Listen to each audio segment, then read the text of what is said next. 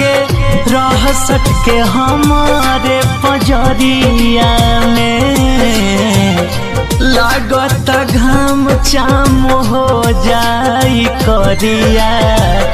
निकल न धान दोपहरिया में। निकल न धान